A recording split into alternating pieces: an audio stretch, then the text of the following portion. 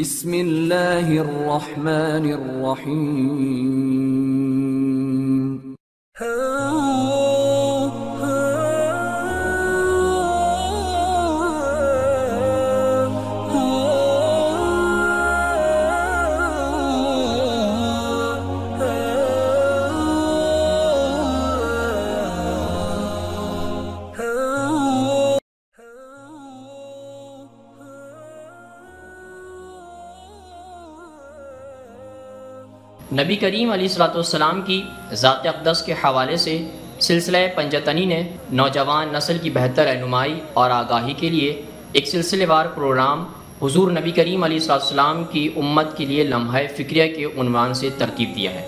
आज इस सिलसिले की अगली किस्त का हम आगाज़ करते हैं। हज़रत मुआविया के हामियों के मुताबिक हज़रत अली रज़ी की शहादत के बाद उन्होंने इस्लाम पर सवाल पजीर होने से रोका था। उनके मुताबिक हज़रत मुआविया किसी तौर नफरत के काबिल नहीं थे। अगरचे शक्ल सूरत के लिहाज से वो एक विलन ही दिखाई देते थे, क्योंकि उनके जिसम का डील डोल ऐसे ही था, उनका पेट बड़ा था, उनकी आँखें उभरी हुई थी और पाँव मर्ज की वजह से सूजे हुए थे।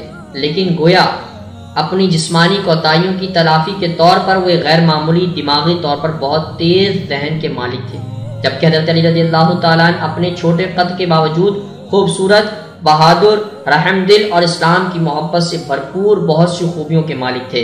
जबकि हज़रत माविया में हज़रत अली रज़ी अल्लाह जैसी, ऐसी कोई खूबी नहीं थी, मगर उनके पास मनसूबबंदी की महारत और सियासी महारत का गैर मामूली इल्म था। उन्हीं खूबियों की वजह से हज़रत माविया ने अपनी तमाम और अपनी शाम की हुकूमत को बहुत आसानी से चलाया। वो कहते थे कि आसान सरजमीन में बुलबुलों के चश्मे से बेहतर मुझे कोई चीज़ पसंद नहीं है। उन्हें ये कहने का शौक था, लेकिन उन्हें इतना आसान नज़र आने में एक ख़ास खूबी ज़रूरत थी उनके हामियों के हिसाब से।